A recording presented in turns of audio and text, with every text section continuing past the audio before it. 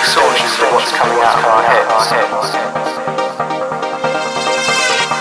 And you've got to remember this, you've got to have it inside your head to be able to get it out at all anyway.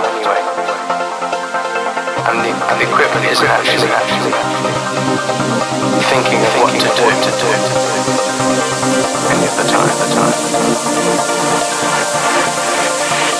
It couldn't control itself itself. It's